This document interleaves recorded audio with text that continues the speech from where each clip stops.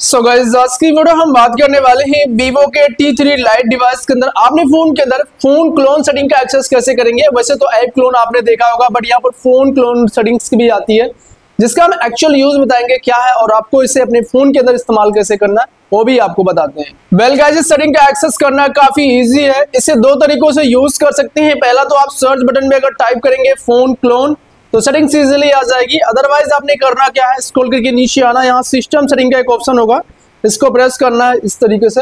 And इसके अंदर अगर आप आएँगे तो यहाँ पर देख सकते हो फ़ोन क्लोन मिल जाता है। इसको प्रेस करना है। दो ऑप्शन आपको दिख जाते हैं। दोनों ऑप्शंस का मैं एक्चुअल में यूज़ बताता हूँ क्या होता है। जो पहला ऑप्शन है this is an old device और यहाँ पर एक्सपोर्ट डाटा है। This is new device export data import data तो इन दोनों का मतलब समझते हैं। देखो, अगर कोई आपके पास ओल्ड डिवाइस है उसका डाटा नए डिवाइस में आप कर सकते हो। जैसे कि अगर मैंने यहाँ पर इसको टॉप वाले को सेलेक्ट करा ओल्ड ओल्ड फ़ोन को तो अब क्या होगा कि हमारे पास एक और फ़ोन होगा, उसके, इसके ओल्ड फ़ोन का डाटा अगर नए फ़ोन में करना है तो पहले इसको क्लिक करेंगे तो इसका एक क्यूआर कोड जनरेट होगा।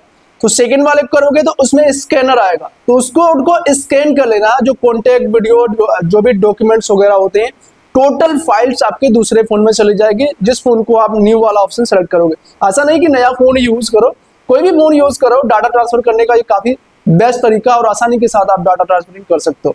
और कोई ओल्ड डिवाइस है, लाइक कह सकते हो पुराना है, अगर आपने कुछ अपग्रेड करा नया डिवाइस तो उसका डाटा आप इजिली इस फ़ोन क्लोन की मदद से कर सकते हैं और बहुत ही ईजी है। और कुछ लोगों को ये भी होता है कि उनके पास एक एक्स्ट्रा डिवाइस है, लाइक कह सकते हो तो उस क्या करते हैं कि ये जो डाटा है, दूसरे फोनों में भी रख सकते हैं। क्लोन का मीन्स के डुप्लीकेट करके बना के रख सकते हो, कोई इशू नहीं है।